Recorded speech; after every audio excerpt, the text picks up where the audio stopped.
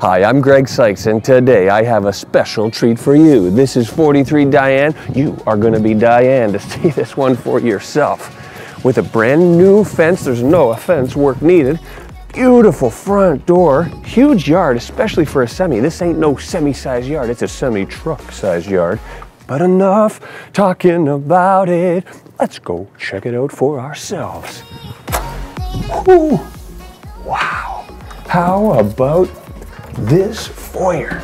You can definitely use this for your benefit. When your friends come over, they can put their jackets here. They can use the guest two-piece, which is a beautiful convenience. Dave, why don't you show them around? Gorgeous living room with a big, bright, updated window, updated flooring, a bright kitchen with patio doors leading to a huge backyard. Don't you just love this country style kitchen? It's modern farmhouse. Dave, let's show them upstairs. With beautiful wood top stairs, gorgeous light fixtures, all the natural light you could ever need. Two bedrooms for the kids here with an updated bath. And here is the master suite. What a sweet deal this property really is. Wow. Well, we're now gonna head down to the partially finished basement with a nice rec room.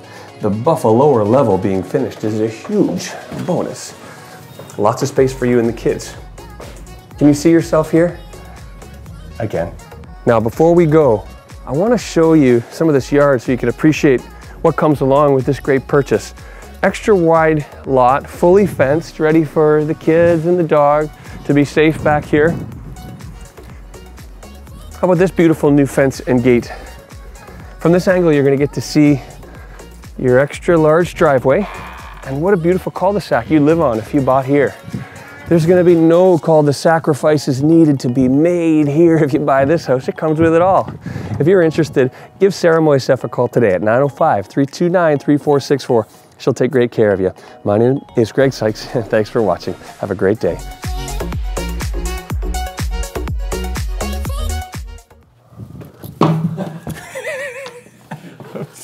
How about this foyer? You can dip. I forgot to shut the back door. A two-piece bath for those middle of the night emergencies. And behind